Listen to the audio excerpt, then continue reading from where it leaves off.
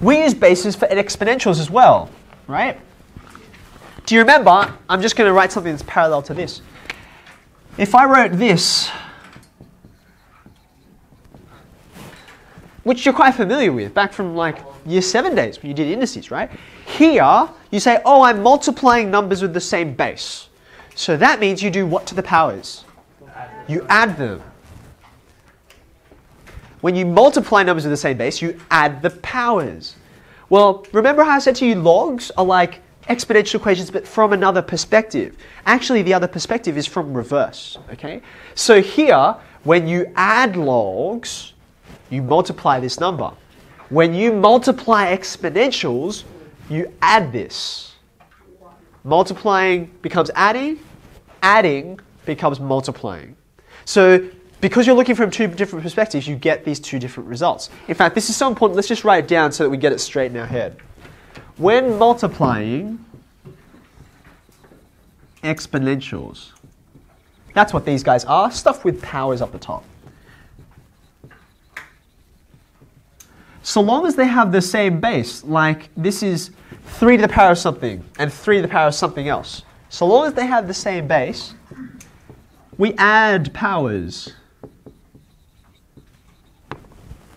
But down here, it's in reverse because the same object looked at from the other side. It's like a coin. You got a head's tail, you got a tail's head's side, a tail's side. I said head tails, didn't I? Um, when you're looking at opposite sides, instead of going from multiplying to adding, here we're adding, and that turns into multiplying. So when adding, not exponentials but logs or logarithms, right? I'm just going to write logs just because it's a bit shorter.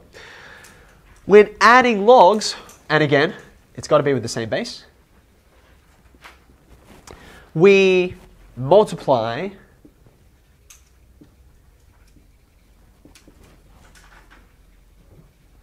the numbers inside the logs. In this case, it was 5 and 125. In this case, it was P and Q. Adding to multiplying, multiplying to adding. Okay?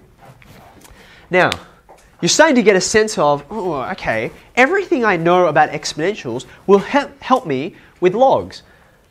See that index law over there? There's another index law that goes with it, but it's for division instead of multiplication. Do you remember if I gave you something like 3, sorry, I just wrote a 2, 2 to the 7, and I said divided by 2 cubed. You're dividing instead of multiplying, so instead of adding, this is the opposite, right? What do I do? I subtract. I subtract. 7 take away 3. Okay? So therefore, dividing exponentials turns into subtraction. Say it again.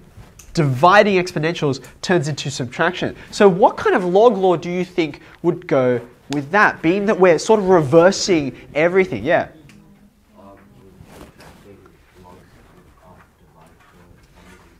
Very good. In, case you didn't catch that, it's just like this, but in reverse. If you are subtracting logs with the same base, then we divide the numbers inside the logs. Okay, so what would that look like? I need a bit more space here. Again, so I'm going to put this under the heading of laws. If instead of adding these logs, I am subtracting them, I'm not going to multiply. I'll do the opposite. I will divide. Bless you. P divided by Q. Okay? Now, please keep in mind, this is what I'm trying to get across to you. It's a bit slower, but I hope it works better. These things here are not just written down, etched in stone because someone said so.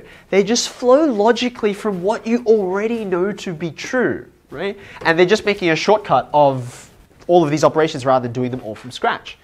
Can we think of an example uh, with numbers that would work with this? How could we write,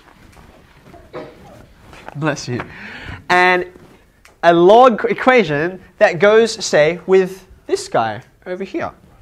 What would be equivalent? Yeah, what do you think? Log 5 of what, sorry?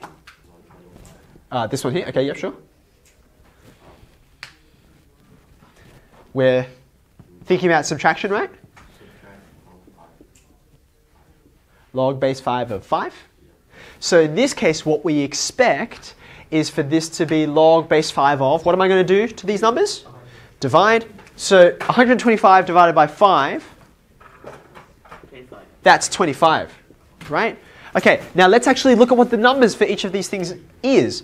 You already know this is 3, and this is 1. Is this, is log base 5 of 25, is that 2? Yeah. It is. It works.